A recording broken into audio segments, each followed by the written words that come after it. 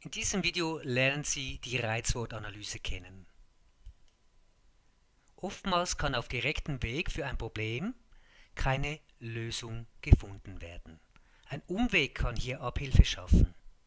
Mit Hilfe eines Reizwortes setzt man das Gehirn einem Reiz aus. Das Gehirn macht einen Gedankensprung und dies führt zu überraschenden Lösungen. Dieser Gedankensprung entsteht, indem eine neue Verbindung zwischen Reizwort und Problem hergestellt wird. Der genaue Vorgang wird nun vorgestellt.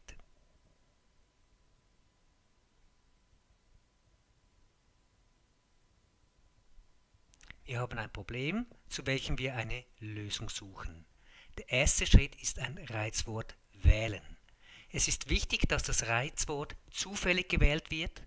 Dabei handelt es sich um ein Nomen, welches nichts mit dem eigentlichen Problem zu tun hat. Dies kann zum Beispiel mit verbundenen Augen durch Tippen auf einen Text erfolgen oder man erstellt eine Liste mit Nomen und sucht das Wort mit einer Zufallszahl. In einem nächsten Schritt werden Charaktermerkmale definiert.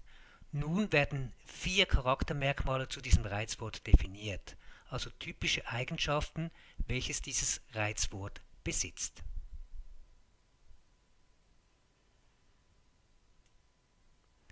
Nun wird eine Verbindung hergestellt. Das ursprüngliche Problem wird pro Merkmal verbunden und dieser Vorgang wird viermal wiederholt, bis schlussendlich vier neue Ideen entstanden sind und am Schluss eine Lösung vorliegt. Ein Beispiel. Wir suchen eine Lösung für einen Ausflug.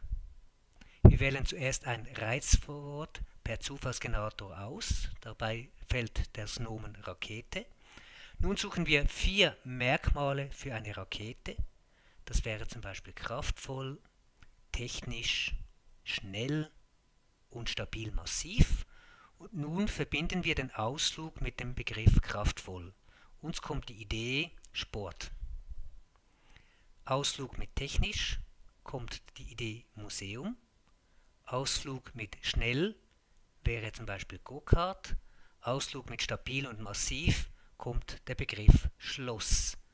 Wir haben nun vier komplette mögliche Lösungen für Ausflüge aufgrund der Rakete vorgebracht und können uns nun für eine Lösung entscheiden. Hier noch die Zusammenfassung.